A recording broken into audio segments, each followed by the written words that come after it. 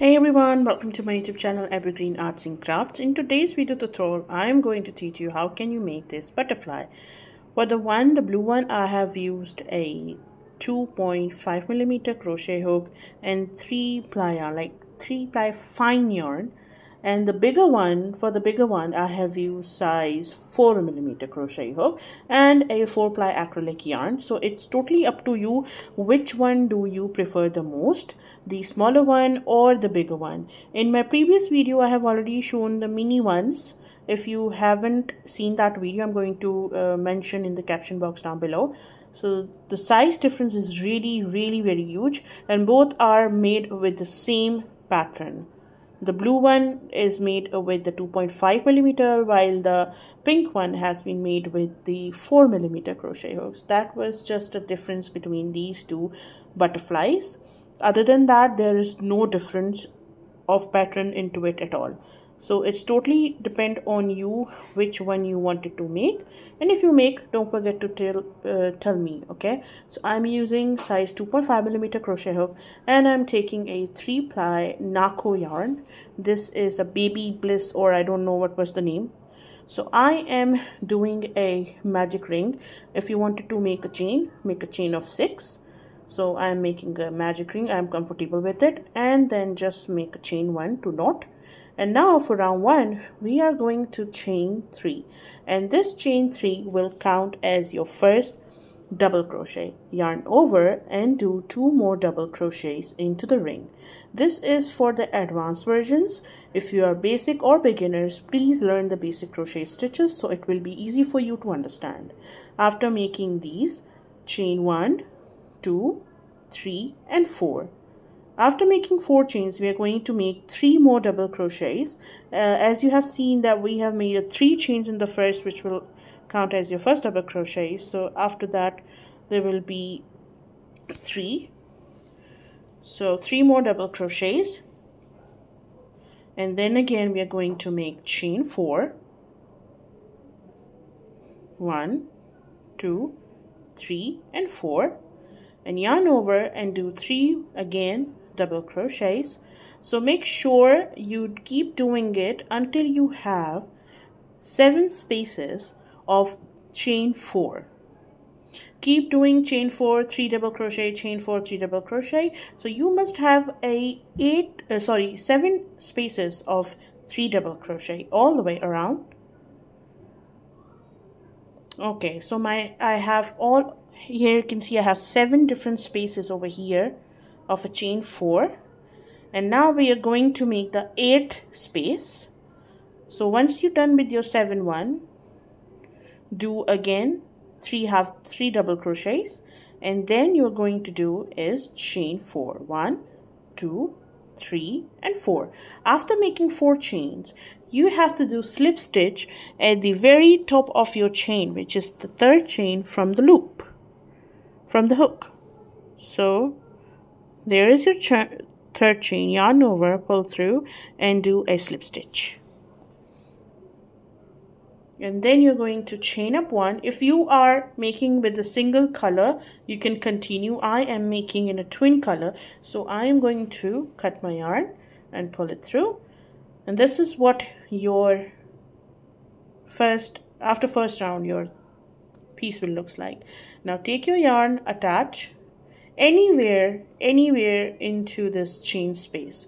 So inside your chain space and then you're going to do is pull the yarn through this chain space and through the loop in your hook like that.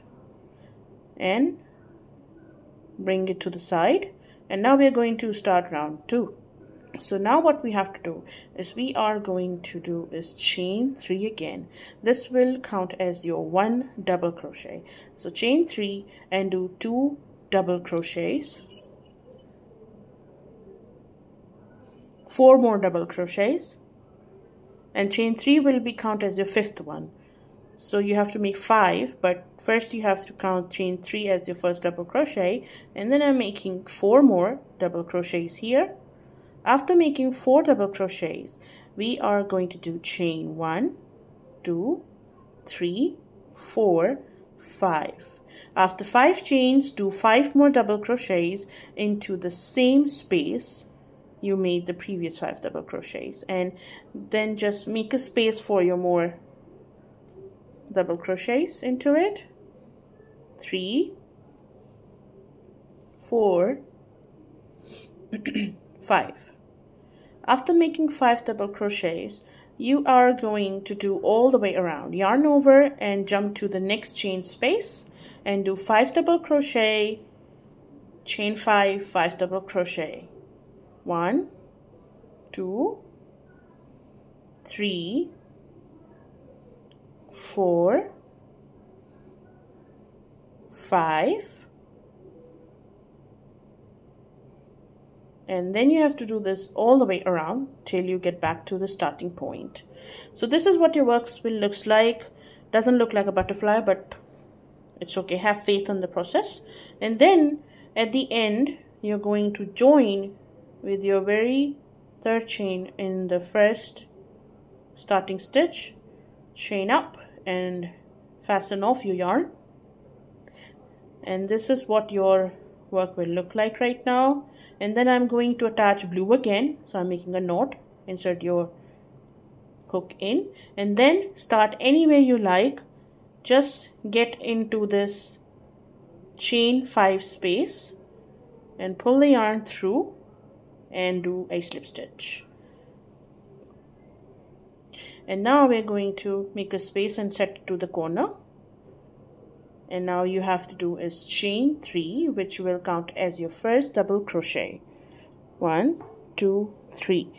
And into this space I'm going to do 8 double crochet. So chain 3 will be count as your first one and the total are going to be 9 double crochets.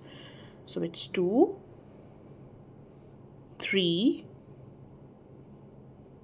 4 5 six, seven, and eight. And after making eight of these, I'm going to first cut down that shorter loop at the back. and after making this, you're going to chain one, two, and into the same space, we are going to make nine more double crochets. One, two, three, four, five, six,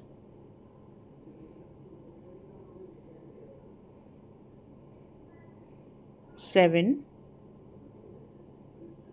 eight, and nine. After making nine double crochets, there is a space in between here. You can see this space right here.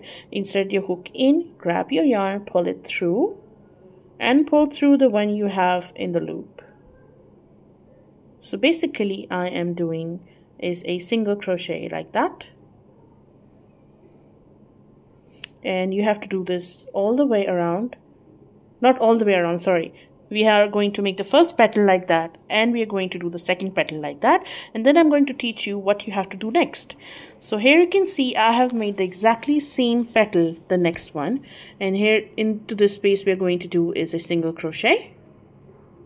And now into the next chain space we are not going to follow the same pattern as I have did because I am going to make a, a little pointed end with the picot stitch.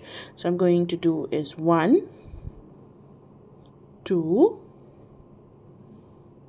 three, four, five, and six. After making six of your double crochets, we are going to make a picot stitch and this is really simple. All you have to do is you're going to chain three, one, two, and three, and there you can see there are the top at your very last stitch there are the top two loops here. Insert your hook in and the, then you're going to grab your yarn pull it through and pull it through the one you have on your hook. So it's okay. There was a thread in there. There are the two loops. Insert your hook into the loops. Yarn over pull through and then pull through the one you have on your hook. And then you can get a little bit of like a you know a point pointed wing. And do a six more double crochets. And into the next leaf you're going to repeat this same pattern. If you don't want to make the picot stitch or pointed ones you can just go ahead and do the nine double crochet chain two nine double crochet all the way around in between like a single crochet. So here I have done my six single crochet six double crochet into space right here. Do a single crochet. And again you have to repeat this same petal six double crochets picot stitch six double crochet into your very next petal like that. And now we are going to repeat these two petals again into the next chain which is going to be nine double crochet chain two nine double crochets into the next two petals next to uh, chain spaces not petals. I'm sorry i'm saying petals again and again. So into the next uh, two of the chain spaces you have to repeat the very first stitch uh, uh, very first ones which we have repeated.